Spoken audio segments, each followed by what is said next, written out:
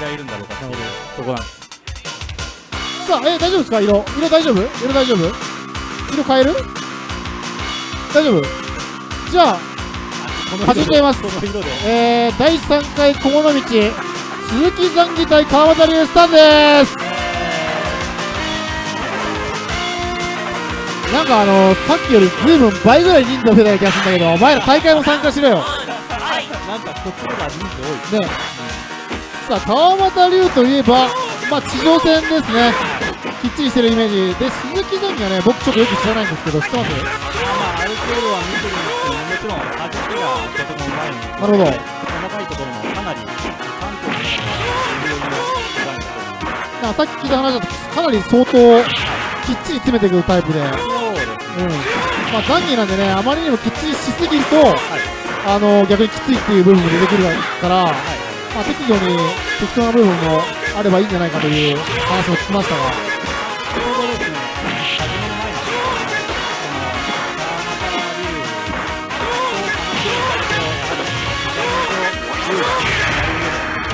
一番有利な瞬間は、先に歩いた、あー前に歩いた瞬間ね、ただこれ、川端龍の足技がすごすぎて、はいはい。なんかちょっと、何も言えないというか、見惚れてしまうというか、これ、鈴木ザンギ、相当きつ、ザンギで画面走って相当きつくないですか？そこなんですけど、確かに壁端で追い込まれた瞬間で、こう来てるんですけど、実は壁の端と端っていうのは、残念なで、あなるほど方向指定すればループが狙えるんで、実はそれほど致命的なわけではないんです。さあ離してるうちに3回投げた、さあリードしてるのは鈴木一発ですねやっぱり。ザンこれがあるはい、この間合いだと、さあおお、しっきり壊し今の壊しは安全にそうですね、正せるの安全加攻さんのレンガになりますから、ああなるほど。いやもうあれは確定そうですね、きっちり消えてるの確定。おっと鈴木がちょっと、乗ってきたぞ。ガインダーの後はラリー、この見てからラリーがどれぐらい出せるか。ああちょっと早かったで確かにおっしゃる通りこの足端の場面だと見てからラリーが完全に封じられてしまうのでまあリスクを背負い続けて足をキープするかそれともこのさあ直スキル2回って鈴木は1本。逃げ続けるか、さあ前評判のきっちりやるというよりかは今回は意表をつくような形ではい、取りましたね。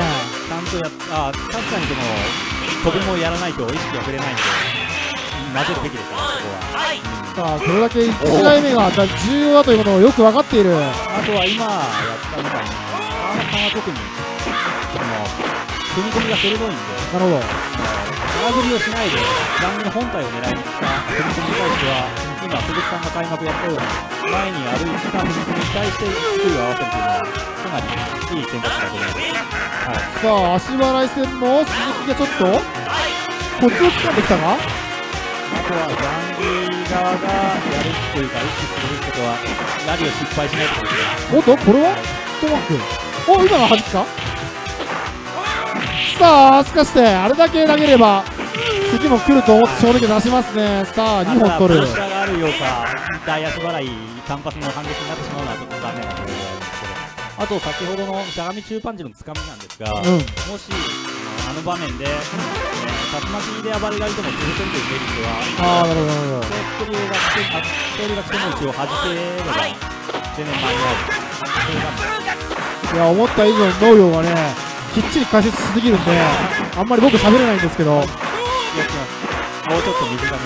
さあ画面端おっとさあこの3本目は川又が取り返したいところさあ1試合目は川又完全に足技で翻弄したが。これ。さあ一発の作るから。おっと竜巻シューですか今の。シューでちょっとずらす感じか。段階的には実はリバサー、特に差し押しって重ねた瞬間にリバサーで竜巻で暴れるのは、ああ一番めんどくさい。でじゃあじゃあ中大強でまあ全部対応変えないといけないですね。中大の方が画面端に追いつけても1回スクリューを決めるともう一遍張ると。さあ強気の鈴木。今のはスキルミスか？なるほど。さあ川端こっから逆転するのは相当きついぞ。おっとスキルの光には何も入らない。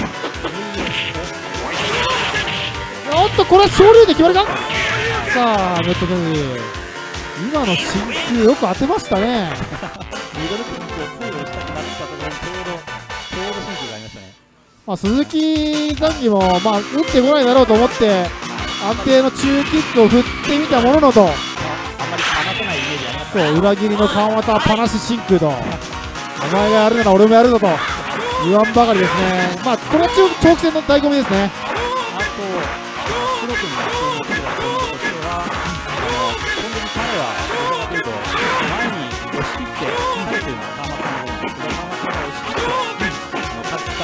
確かに。横押しがすごいですねはい、をキープし続けて勝てるかというのは、まあ、彼のスタイルとしてもいいところかなと思います。さあファーストヒットが47秒。なんか3分の1以上波動の削りでやってます。あと1点で終わるか？1点パーフェクト川又が？さあ取り返す。さあ鈴木はこれを引きずらないようにするのが重要。おっと？使ってあと受け身取ってるこの前に対して、竜の前歩きに対するリスク、そして、おそらく、こちらの敵はほとんどついてないので、なるほどスクリューを、こっちから先にダイヤスがあるそうですね前飛びをまだ見てませんねただ、前に歩いた瞬間って、利用機会としては、どちらかというと波動が出せなくなる代わりに、相手の意識が出る。なるほどなるほどで、そう考えると、彼は、川中は歩いてダイヤスがあまり振り回さない人なんで、なるほどここからでもちょっと前に出るのは怖いです。確かに前飛びをまだ1回見せてない残り10秒さあミスド川中さんも人間なので、たまには飛ばないと、確かに長期戦ですからねはい、仕方ないかなと。さあ1回前に飛んだんですが、まあ、あれはどっちかというとダイエットで手前落ちみたいな感じですかねそうですね、はい。立ち台キック出されても、ダイエットのコースだけど、まあ、その後何も入るってわけじゃないんですよ。さあ2対2ですさあ小物道3回目にして煽りが一切ない完全に地上戦だけ楽しい、めちゃめちゃ楽しいですね。そろそろタイトル変えてもいいんじゃないかというさあ大志まあこの組み合わせで鈴木残機が立っての希望で実現したという組み合わせですがさあこれはしっかりダブルダッシュさあ完全地上戦はもう龍が圧倒してます。おっとあっとこれはミスったか？今のは？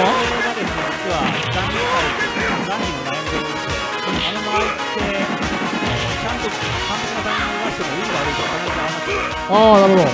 えダブラリじゃなくて？ダブラリが負ける瞬間があるダブラリが負けるなので何をやるべきかというと、しゃがみショーパンで安定して落とすか、あのループしない可能性があっても中盤でダメージ。をするあー相模町バウンドだと、まあ、次の着攻めがあるけど、まあ、そこはね、読み合いになっちゃうんで、噛んで、あと、これはしっかり殺撃です。今の逆殺ですね。撃に対しての暴れ、リバーそういうよりは、竜巻の方がリスクが少なくなるので、さあ、先ほどが川端の大足が光る瞬間がほとんどないですね。しっかりガードさせる。あれ、ちょっと怖いんですが、ただ、その踏み込みが信頼できるということは逆に空振りはしないので、おっと、ミスった今のはスキルですよね。さあ、立ち足。さあ、取り返す。3人。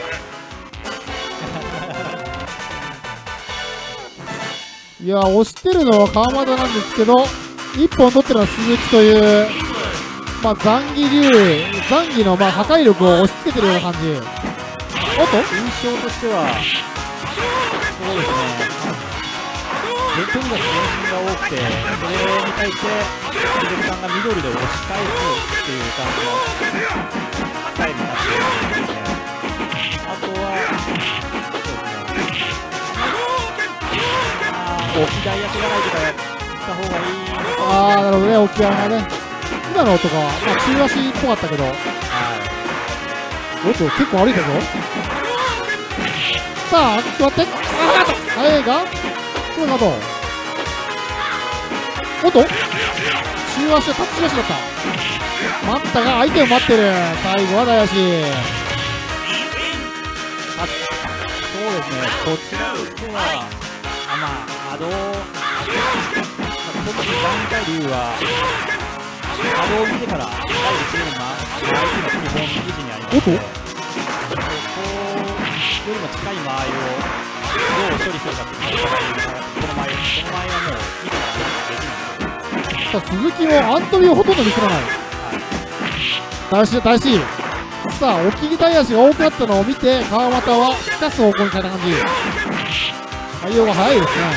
おっと真空は噂ですから受ける。あっとこれは届かない。取り返す。今のリバサでちゃんと出してたら、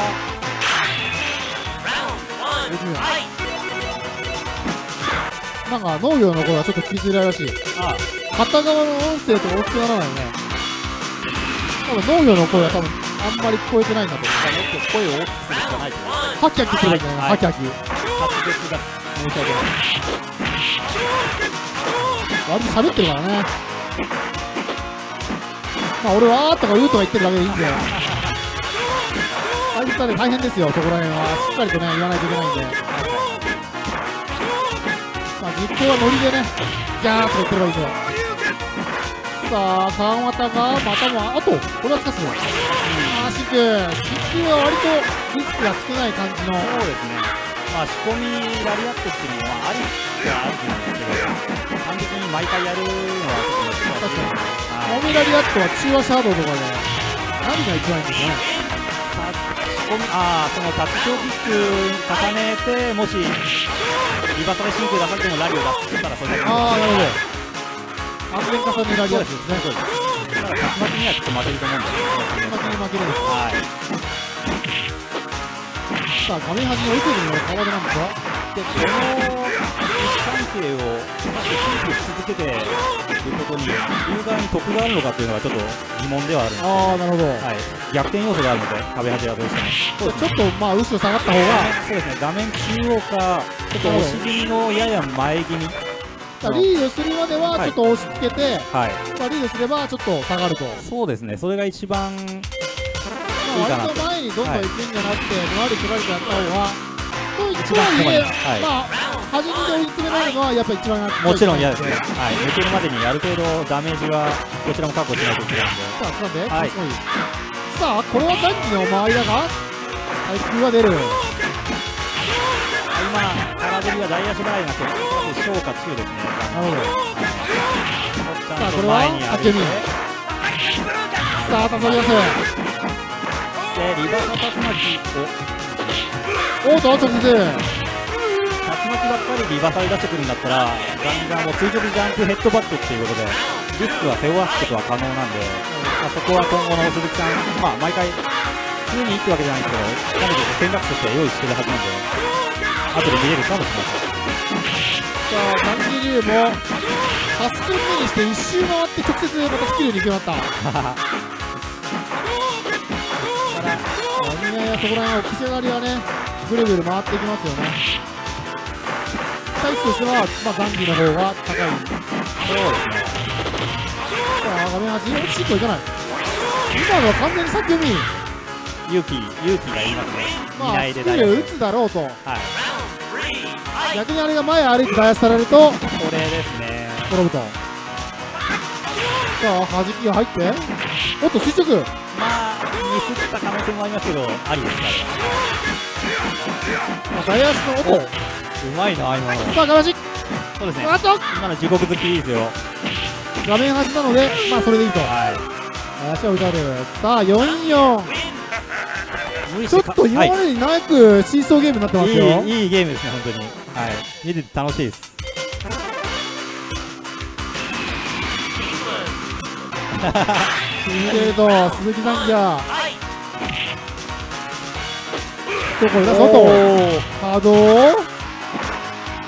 来るさあ波動だしだし画面端中盤あとこれは？さあこれはしっかりススキルいったところ。勝利君さあちょっと厳しいぞ。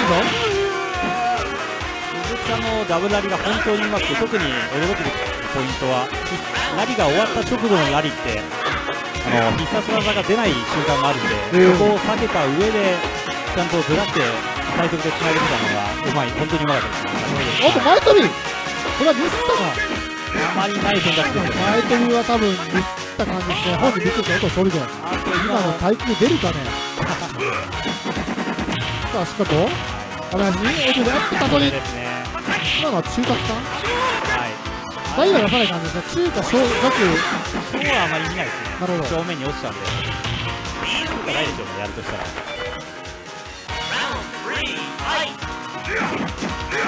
あれに対して残儀ができることは仕込み立ち台ぐらいになってしまうんですけどかなりちょっと状況限定ですねさあちょっと2人とも美しい地上戦やってますはいここから果たしてキープし続けることにどれだけの意味があるかまあそうもう後ろに下がってもいいんじゃないかと、そういうことになりますさああとは守る感じのそうですね今がちょっとなまあ心に余裕があれば7ドット削りいってたかもしれないですあなるほどあと勝利でなかった珍しいさあ分からんぞ松木もうしますね、はいこれは罪ですね。あとは今のは仕込みあのサビ飛びから仕込みラリアットができてれば毎回落とせるタイミングではあるんですけど相当難しいです。なんか2回転がアドバイスをしてますが。はい。いいの？かなアドバイスは。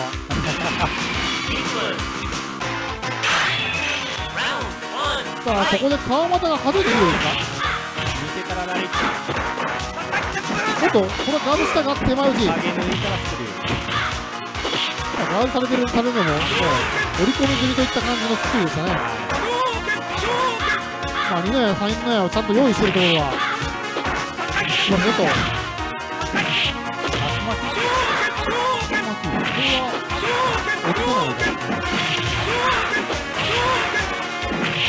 さあクラシックさすがにラリアット出なかったまあ見てからラリアットができない間合いっていうのは本当に嫌なもんで、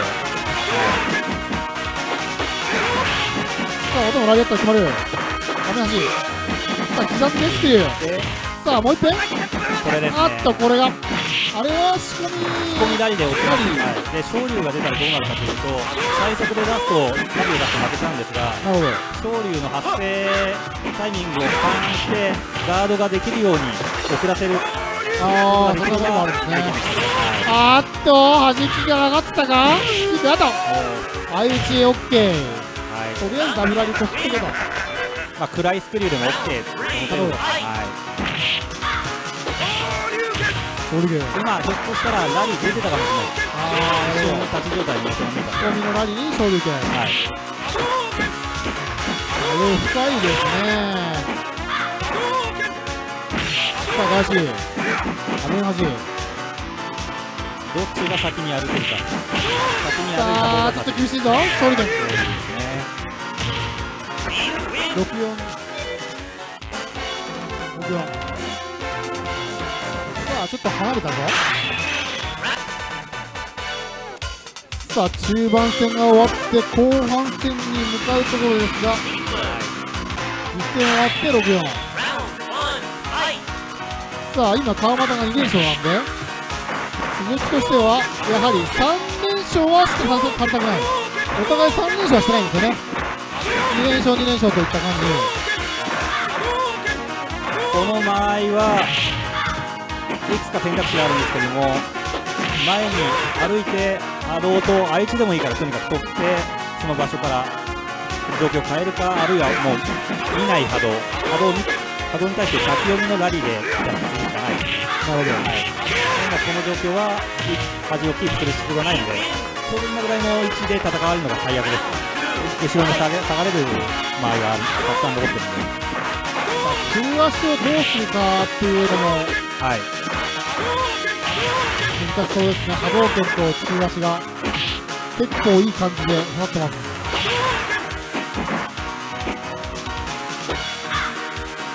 さあスクリューの周りにはもういかない感じ。おそらく今の影縫いスクリューは2回やれば届けた感じですね。1回ガードさせてガードガードモーションが解けた後もう1回一瞬だけ歩けるんでまた前に歩いて影縫いに。さあ残機の端になったが押し返される。大足これはかなる。さあこれは波動がないと読んで前に歩いた。さあ3連勝で74中足払い踏み込みに対して大スクリューで迎え撃つの美味しいんですけどダウンを奪わないとちょっと次が続かないんで、まあ、外足差し込めるのが一番いいんでしょう、はい、小足から前に歩いてスクリューおっと今のスクリューか？あなたは、まあ、安全にバックジャンプ。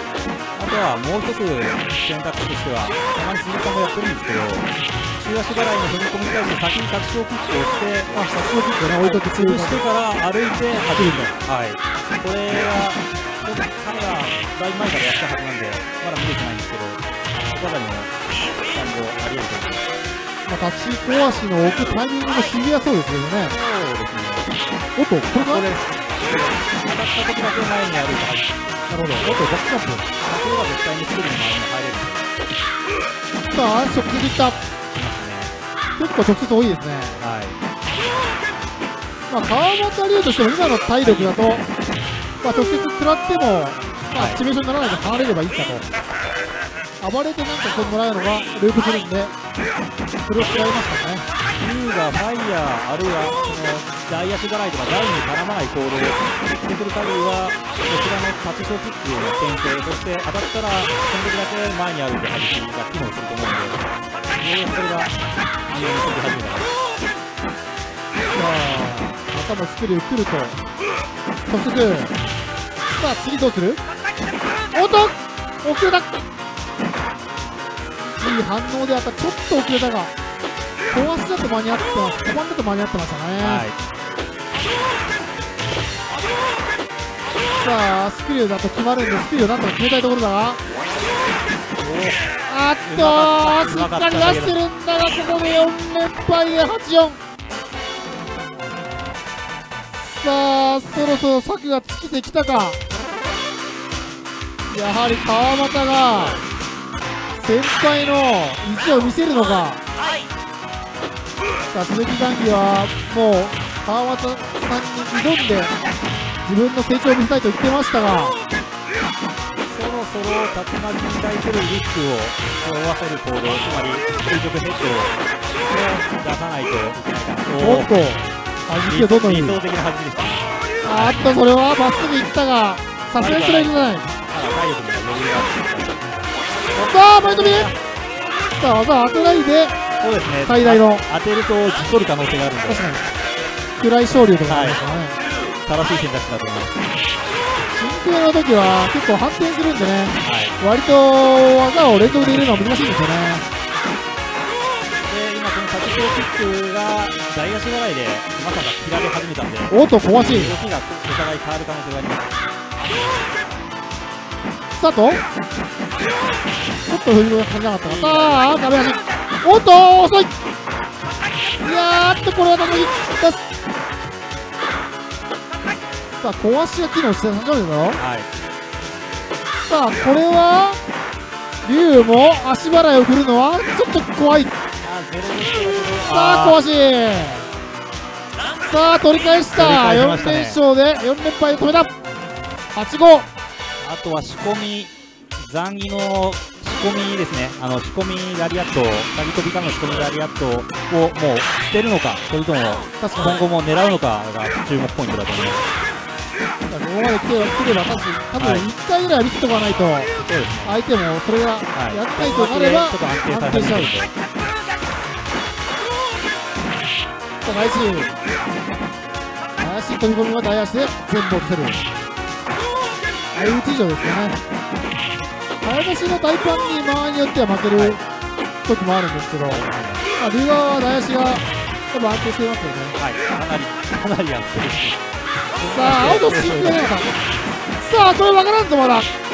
まっすぐいったこれは決まったこれはよくいった。川又龍も今のはさすがに素直には来ないだろうと思って逆に待ったのが。はい。さあしかしげだらしい。さあ降りてないぞ川又。迷いが全くない。ち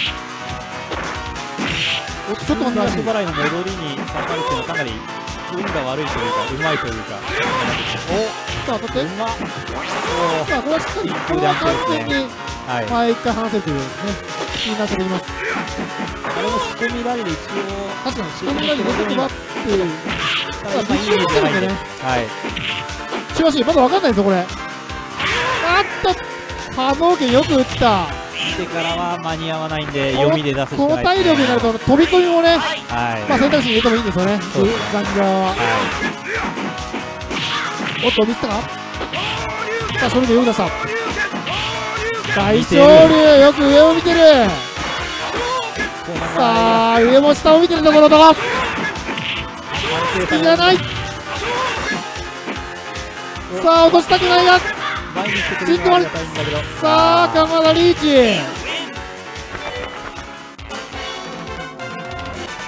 ただ中盤ぐらいから使い始めてる立ち小キックかすったら弾くよってスタイルが確かに機能し始めてるんでそこに期待しますよ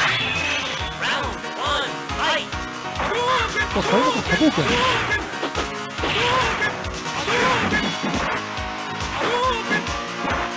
さあ変わらずに横を押しますね。はい。ここはまだ。いいさあそろそろ安全圏か。もう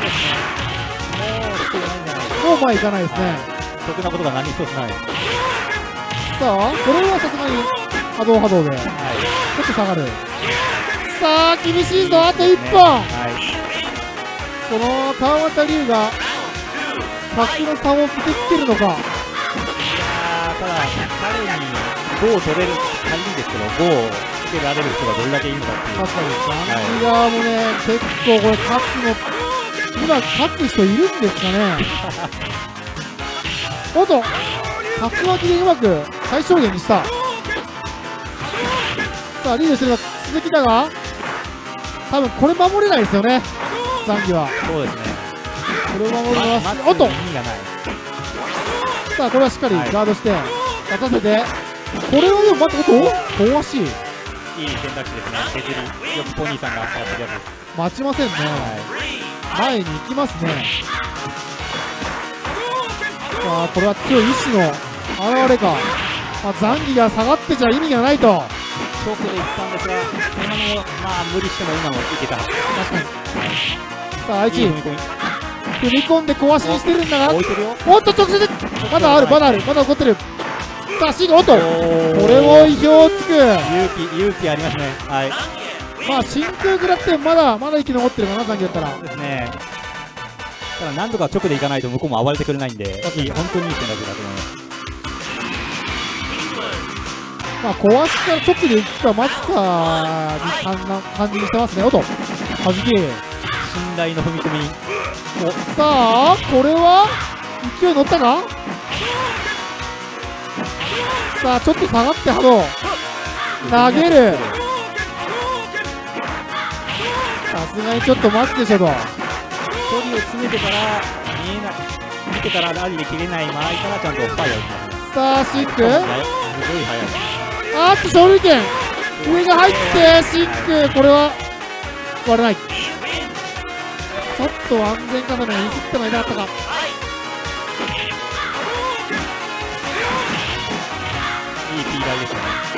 さああと振って私おっと何読みだ？トップスピン。ちょっとわからないですね。何を何を狙ったのか。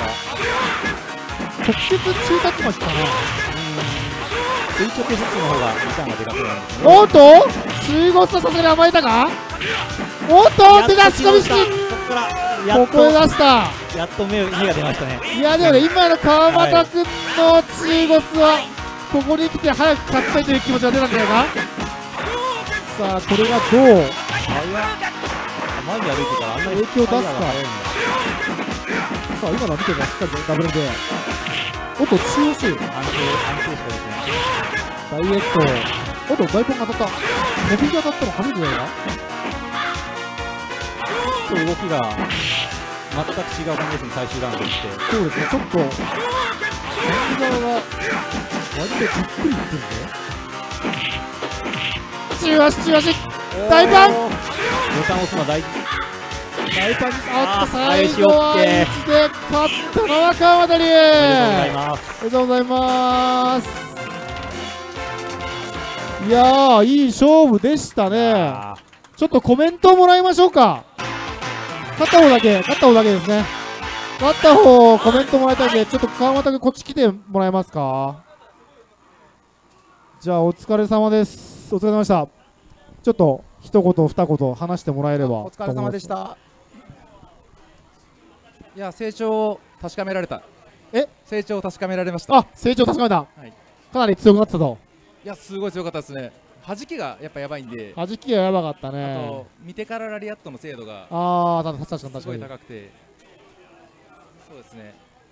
まあ勝ったは勝ったけどみたいな。そうですねでも残儀は多分結構まだ先がありそうな感じなんで精度とあと立ち回り面で結構竜にどんどん戦えるんじゃないかなっていうどなるほど。感じですのでリベンジ待ってます鈴木さん。リベンジ待ってるということで。じゃあ川端勝った川端でもうもう一遍拍手お願いしまがとうすございます。中ゴスちょっと勝ち急いだんじゃないの？あれは？あれは硬直中にやったつもりだったんですけどああなるほどちょっと遅かったかなっていうどああなるほどね。焦ったわけではないと。そうです。あそこは確定定でいけるところだと。確定でいけるところをちょっとね。ね気持ち面で焦ったんでしょうね。ああ気持ち焦ったの気かもしれないと。持ちょっとタイミングずれちゃったいやねこういうところがねなんかね見習ってほしいねみんなね。だからね言ったらねいや絶対違うと。そんなことはないと。焦ってはないと。いうやつはいるんですよまあそれが言ってくれる方がね煽り合いがあるんですけど。まあ爽やかな川松さんでした。お疲れ様でした。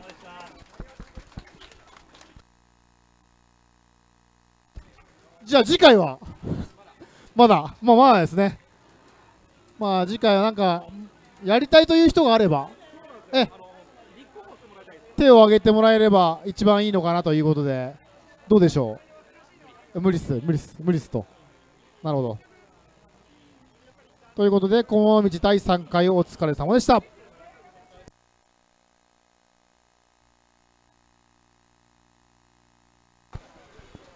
では、えーちょっと告知なんですけども、来週はもう XS とですね。ですよね。で、えーあれが秋葉の e スポーツスクエア 3on3 大会やりますので、えー告知内容は、えーあそこ、マッツンさんのあれ、えースーパーストリートファイター 2x.net、SF、SS f2x.net ですね。あそこのツイッター見てください。そしてですね、その次の週の日曜日、バーサスで団員戦をまたやるそうです。団員戦またやるので、えーそれもまたよろしくお願いいたします。XS の次の週の日曜日です。では、えーお二人ともお疲れ様でした。いい試合だった。はい、今日は配信ここでストップさせていただきます。えージャイさんと農業さんも解説ありがとうございました。お疲れ様です。では、今日はストップいたします。